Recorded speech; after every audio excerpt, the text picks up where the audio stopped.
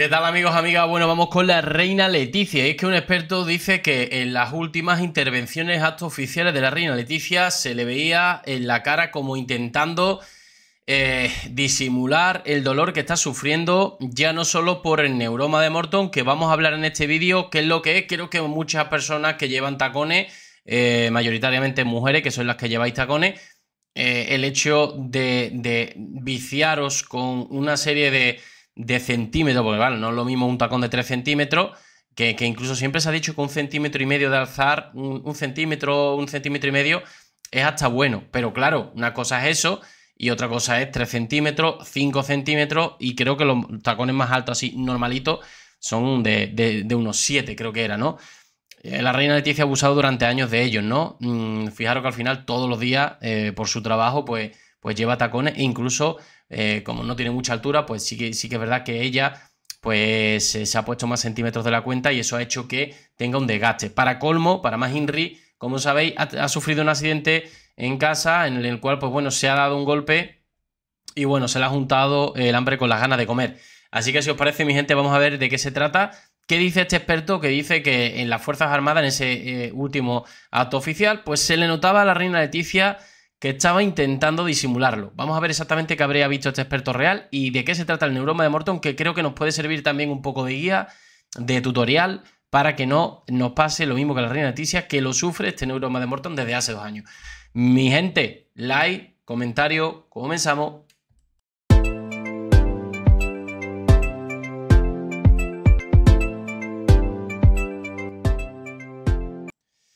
Y bueno, como decía, vamos a ello. Vamos a ello a ver qué le habría sucedido. Y es que, según informativos Tele5, en el día de hoy ha salido esta noticia tempranito por la mañana. El dolor que la reina Leticia intenta ocultar, su rostro muestra el padecimiento que sufre. ¿Vale? Bueno, Leticia tuvo eh, que permanecer sentada durante el besamano de los Países Bajos por una afección en el pie izquierdo. La reina sufre de un problema que le impide permanecer de pie quieta durante mucho tiempo. Actualmente padece un neuroma de mortón, lo cual le dificulta que pueda caminar con normalidad con tacones. Por eso sus últimas apariciones públicas son con zapatos cómodos bajos, una deportiva que ella sabe llevar con dignidad protocolario para seguir pisando eh, con garbo, que ha puesto de moda en todo el mundo. Bueno, la verdad que últimamente incluso hasta para bodas he visto a personas, no mujeres, sí, sí que es más normal, más habitual en hombres, pero de estar enchaquetado y tal, y en camisa y corbata y luego llevar unas deportivas, ¿vale? Eso es muy común, una chaqueta, un pantaloncito y luego las deportivas, o sea, se lleva mucho, con lo cual ha coincidido en una época en la cual ese outfit pues se lleva, ¿vale? Con lo cual tampoco es algo que, sea raro. E incluso yo que ella aprovechaba teniendo ese neuroma de Morton, que eso no tiene cura, se puede... Eh, pero bueno, ahora lo vamos a ver, ¿no? Se puede operar y tal, pero te deja los dedos como, como dormido porque te quitan esos nervios, ¿no? Con lo cual tampoco te quitan la alarma que tienes en el cuerpo, ¿no? Porque si te, es como si lo tuvieras dormido, mm, te pueden cortar un dedo y ni te enteras. En fin, durante el Día de las Fuerzas Armadas, especialmente su rostro muestra el padecimiento que sufre por la enfermedad. Estoicamente mantiene rostro firme y elevada la barbilla, no obstante, donde más podemos apreciar la expresión gestual de la dolencia es en sus ojos. Ojito, esto al final entiende el que entiende. Yo no he visto nada raro, pero claro, yo no soy especialista en, este tipo de dolor, ni soy médico. Habitualmente son expresivos y brillantes y ahora se muestran más hundidos a pesar de que el maquillaje intenta destacarlo. La mirada es ahora más lejana, dirigida a un punto no concreto del lugar donde aparece. Es como se, se difumina su mirada mirando al fondo un poco como diciendo que pase esto ya, ¿no? Bueno, otro de los aspectos de dolor contenido se muestra en la boca. El ritus de padecimiento es aspecto fijo o transitorio del rostro al que se atribuye la manifestación de un determinado estado de ánimo. Queda patente en los labios que cierran más de lo habitual la comisura en señal de tensión. Es decir, otra cosa que también le habría llamado a este experto la atención eh, de, oye, mm, gesticulaciones no verbales o gestos no, eh, mm, lenguaje no verbal que ellos pues saben perfectamente por dónde va un poco los tiros, ¿no? Microexpresiones muy breves de sus emociones, el sistema de codificación facial de acciones del psicólogo norteamericano Paul Ekman nos da la clave de las expresiones del rostro en el comportamiento no verbal cuando la cara transmite estado de ánimo. En este caso, ojos y boca junto a rostro tensionado están siendo microexpresiones de las emociones de Leticia en sus actos públicos son instantes muy breves con intervalos de uno eh, o dos segundos donde pasa del resto sereno a algo más tensionado por la dolencia del pie. Las muestras de expresión de Leticia en algunos momentos de su comparecencia nos revelan en breves instantes el ángulo posterior del párpado algo levantado, elevación de ceja y barbilla pronunciada en los primeros planos. La observación detallada de la cara nos está mostrando la contradicción de los labios, dejando al descubierto los dientes y provocando la risa estratégicamente controlada. ¿Vale? Fijaros qué cantidad de detalle que a nuestra percepción, que no hemos estudiado eso, pues no nos damos cuenta y que una persona un experto que, bueno, sí que está entendido en esto, nos puede llegar a decir eh, lo que está sufriendo y, él sí lo detecta y nosotros pues no, ¿no? Creemos que, bueno, sí, es verdad que las primeras veces sí se notaban, los primeros actos oficiales que iba cojeando, sí se le notaba algo más, pero ahora no, en, el Día de las Fuerzas Armadas yo, eh, y sobre todo en, el del libro, ya la veía más normal, pero bueno, sigue, sigue eh, padeciendo esto, ¿no?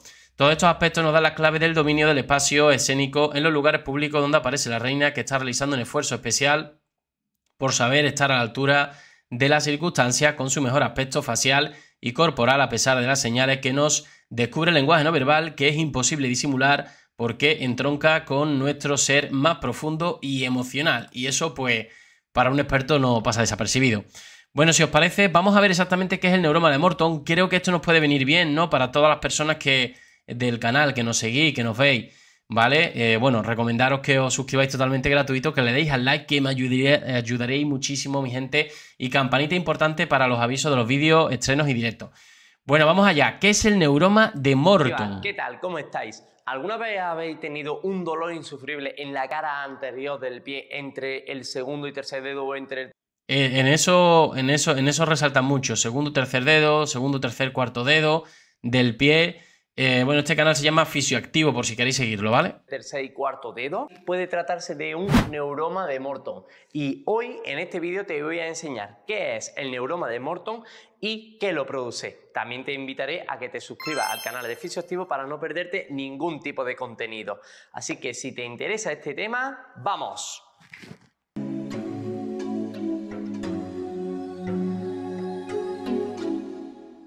Bueno, vamos a ver exactamente de qué se trata. Vamos a ver qué es el neuroma de Morton. Pues el neuroma de Morton o síndrome de Morton es una patología del pie en la que se sufre un grandísimo dolor en la cara anterior del pie, como he comentado anteriormente, entre el espacio que hay entre el segundo y tercer dedo, la zona menos frecuente, y entre el tercer y cuarto dedo del pie y se produce por una inflamación del nervio interdigital que pasa por las cabezas de los metatarsianos, que son los huesecitos de los dedos. O sea, entre el segundo y tercer dedo normalmente, o tercer y cuarto, tenemos ahí como una especie de, bueno, de alarma, de aviso, ¿no? De nervio, que imaginaros si se inflama, da hueso con hueso, y eso no puede, no, o sea, si va más, mm, digamos que, que al inflamarse, como estáis viendo en la imagen, ¿no? Toca hueso con hueso. Eso tiene que doler, bueno, me imagino, ¿no? Una barbaridad. Del pie y esa inflamación lo que crea es una compresión aún mayor de la zona irradiando un dolor muy, muy, muy grande. También es uno de los diagnósticos más frecuentes que se puede dar en las patologías del pie y el grosor que puede llegar a aumentar ese neuroma de Morton puede llegar a ser de hasta 10 milímetros. Ahora que ya sabes qué es el neuroma de Morton, te interesará saber el qué lo ha producido, el por qué lo está sufriendo. Pues Sí, porque yo quiero saber, en la imagen de antes hemos visto a un chico, yo quiero saber, porque me imagino que ese chico era porque estaba yendo a correr, yo voy a correr.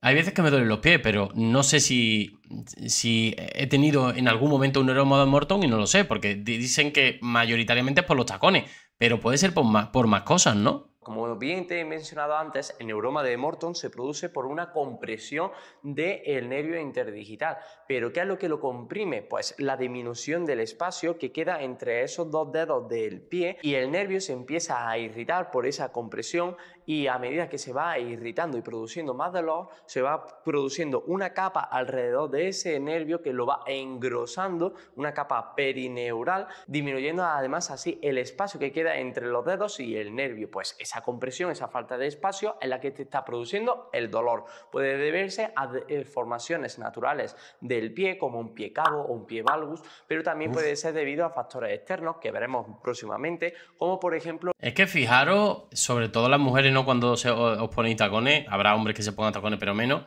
Eh, o sea, es, es como si el otro día escuché que solamente por llevar calcetines y digamos apretar, comprimir un poco los dedos, ya veis que el calcetín tampoco aprieta mucho. Pero es que claro, es antinatural. Nosotros hemos nacido para, para andar descalzo, ¿vale? Lo que pasa es que al final el hombre pues nos adaptamos a este medio y, lo mejor es ir con calzado. Pero imaginaros, si hay veces que tenéis un calzado que aprieta, que, me aprieta un simple deporte, imaginaros, no me quiero ni imaginar eh, ir en tacones comprimido, cuatro o cinco dedos ahí, que yo es que no lo entiendo, cinco dedos ahí comprimidos, que no le estáis dando respiro, o sea, no me quiero ni imaginar el uso de un calzado estrecho o muy apretado, ya bueno, que fijaros, es que esto, esto, ¿quién, ¿quién inventó esto? ¿Quién leche inventó esto? O sea, es que eso es la muerte a pellizco comprimiendo más todavía el nervio interdigital. Ya te he explicado cuál es la principal causa del neuroma de Morton, pero no es la única, ya que también puede deberse a problemas vasculares, ya que si tienes una enfermedad vascular periférica, puede ser que la nutrición y la oxigenación del nervio sea deficiente y por lo tanto también puede producirse esa inflamación del nervio. También puede causar ese neuroma de Morton. Bueno, gente activa, ya sabéis qué es el neuroma de Morton y qué es lo que lo produce o sus principales o sea, también puede ser temas vasculares, buena nutrición, estar sano, estar... Entiendo, ¿no? Entiendo, entiendo también que, siempre se ha dicho que para el pie no tener sobrepeso es lo idóneo. Eso también puede llevar a incluso a fascitis plantar y demás. El hecho de pesar mucho, o sea que... Eh, pero bueno, yo sobreentiendo que, que el que está con bastante sobrepeso entenderá que vascularmente no, no estará sano que si pesa mucho se cargan más las rodillas y los pies. Eso, es evidente, ¿no? Eso tampoco hace falta que venga un médico y lo diga.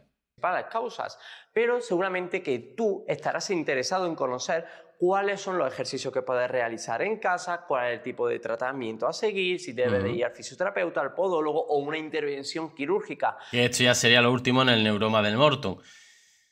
Te dan como. Eh, te pueden dar una infiltración, te pueden dar como calambre eh, como para que eh, se, mm, mm, se reactive, cómo era la circulación o algo así, ¿no? Pues no te preocupes porque eso lo vas a descubrir aquí en el canal de Fisioactivo. Solamente tendrás que suscribirte al canal dándole al botoncito rojo un vídeo que te hablo sobre los ejercicios que realizo yo con mis pacientes y... Bueno, aquí se despide, está, está mandando a otro vídeo. Bueno, básicamente era eso, ¿no? Eh, una infiltración, que como sabéis, eso es un engañabobo. Una infiltración es que, bueno, mm, como una especie de. Eh, ¿Por qué digo engañabobo? Porque yo me he puesto infiltración también en el pie, ¿no? Al final, eh, porque tuve fascitis plantar. Es un engañabobo porque te, te adormece el pie durante un tiempo, te alivia pero un engañabobo porque al final el problema sigue ahí. Entonces hay que hacer una serie de ejercicios. Pero eso es la fascitis plantar, ¿vale? En el neuroma de muerto es más complicado. También te da como unos espasmos, como unos, eh, como unos calambres. Eh, es que no me acuerdo cómo se llamaba la palabra, ¿no? Es que lo vimos en otro vídeo hace, hace unas semanas cuando le pasó esto por primera vez a la reina Leticia.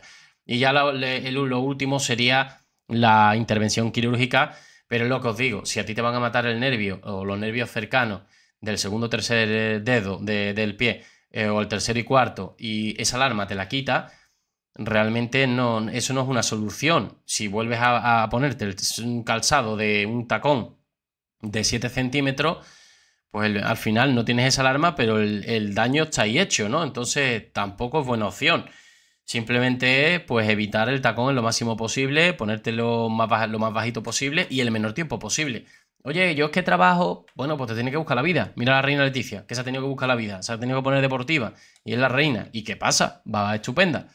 Bueno, mi gente, nos vemos en el siguiente vídeo. Eh, avisa al experto de que está intentando en los últimos actos oficiales, como las Fuerzas Armadas, ocultar su dolor, pero todo no ha pasado, ¿vale? Primero por el neuroma de Morton, que tiene desde hace dos años, que padece, más ese golpe que se dio en el pie, que bueno, lo ha acrecentado más su problema. Mi gente, nos vemos en el siguiente vídeo. Espero vuestros comentarios. Un saludo.